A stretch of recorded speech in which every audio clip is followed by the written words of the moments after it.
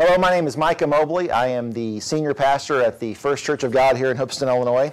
And today I'm going to be reading Brothers at Bat, the true story of an amazing all brother baseball team written by Audrey Vernick.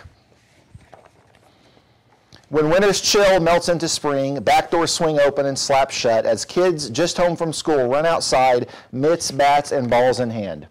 In one New Jersey town near the ocean, back in the 1920s and 30s, you could hear the same door slam over and over. Three brothers raced out, out went three more, and more, and still more.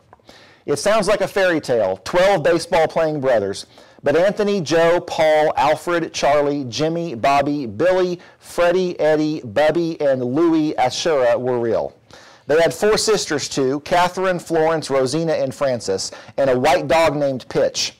The sisters didn't play ball. Back then, most people thought sports were just for boys. The Acerras had so many kids that they slept two to a bed and set three across in their outdoor bathroom.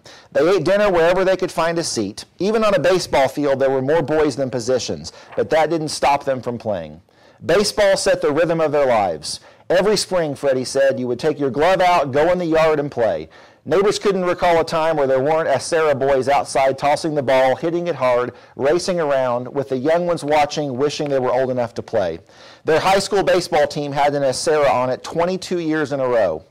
In 1938, the brothers ranged in age from 7 to 32. The oldest nine formed their own semi-pro team and competed against other New Jersey teams. Their father coached them and never missed a game. Their uniforms all said the same thing, Acerras. The infields they played on were dirt. Outfields were littered with rocks and sand. The brothers loved to talk about the day they played at the old dog track, an oceanfront stadium that had once been an auto raceway. It was there that Anthony, the oldest, hit a couple of home runs right into the Atlantic Ocean.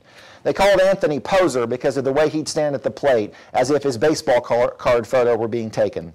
Charlie, the fifth oldest, was the slowest brother. He was a good player, but a terrible runner. The brothers often joke about the time he hit a ball nearly out of the park, but only made it to second. Jimmy, the sixth brother, had a knuckleball people still talk about. You couldn't hit it, Eddie said. You couldn't catch it either. That ball danced in the air. Jimmy was a great hitter, too, probably the best player on the team.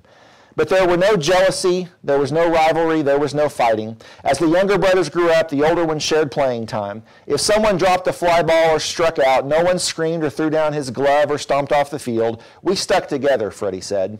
The team played around New Jersey and New York, Connecticut, wherever they could find a good game. Paul sent out letters looking for new teams to play. The All Brothers team always drew big crowds. In 1939, at the New York World's Fair, the Acerras were honored as the biggest family in New Jersey. They were taken to the Newark airport where they boarded a plane and were flown over the fairgrounds. They couldn't believe it. No one they knew had ever been on a plane before. Most of the people at the World's Fair looking up at that small plane in the sky had no idea there was a whole team of brothers aboard.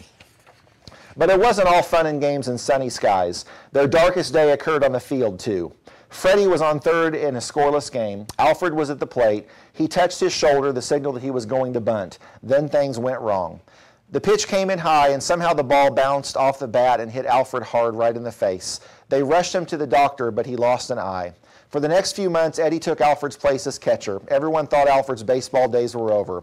But when you have 11 brothers willing to throw you balls in the yard, gently at first, then a bit harder, you get your skills back. You get your courage back, too. Alfred was soon wearing the Acerras uniform again. He was a pretty good catcher for a guy with one eye, Freddie said.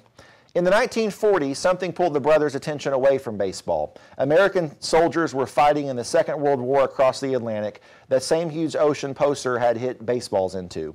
Battles were raging and soldiers were dying, but the brothers knew it was important to fight for their country. The team disbanded as six of Acerra brothers joined the service. Poser was the first to go. He, Charlie, Eddie, and Bobby all served in the Army. After Billy joined the Marines, Freddie did too.